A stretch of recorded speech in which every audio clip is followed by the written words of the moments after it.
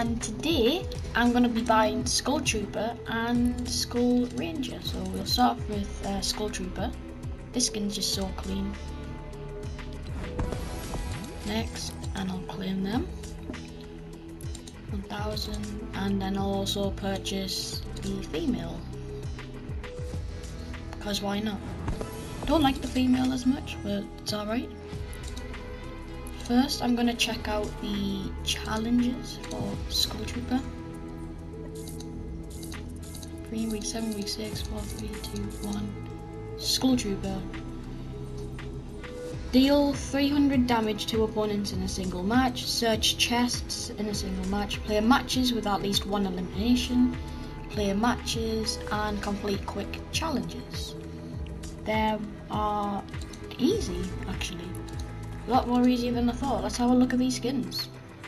Um, so we have a Skull Ranger just down at the bottom here. Very clean.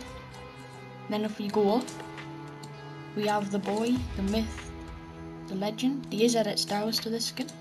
There is a green glow version. And there's an inverted version, which is kind of nice. I kind of like this version, but for the sake of it, we're gonna stick with the white one for now. Uh, back bling. I don't really have a back bling for this skin. Um, this back bling's alright, isn't it? This back bling? This back bling's alright. Okay, I'm gonna gonna do that one. And then for the wrap, I know which one I'm doing. I'm doing this one. Apply this to all keeping the Reaper. I want to do the this glider, but I don't really like it. I think everything will just stay. It's